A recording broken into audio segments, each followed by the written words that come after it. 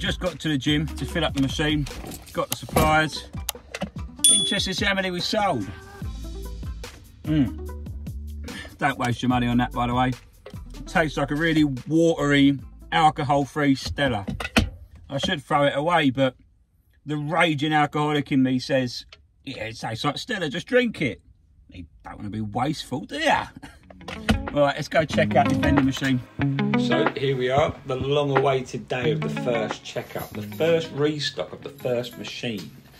Um, it's in Fortitude Gym in Edenbridge, if any of you know it.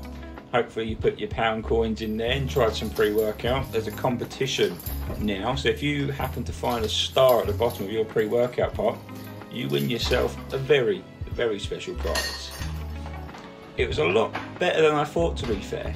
Um, as you can tell by my face, the tray, she was looking healthy. There's a few pound coins in there, 17 to be precise.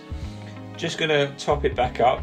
Um, a lot more people used it than I thought, and obviously the two scoop was the most popular because why wouldn't you? One scoop and two scoop is still the same price, still a pound, right? So get this filled. Me and the missus gonna go training now.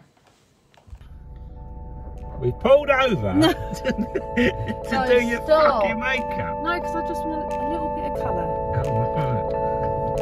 As you can see, she wants to start off with the Stairmaster, um, and I just want to go straight in with the leg curl. But you've got to warm up.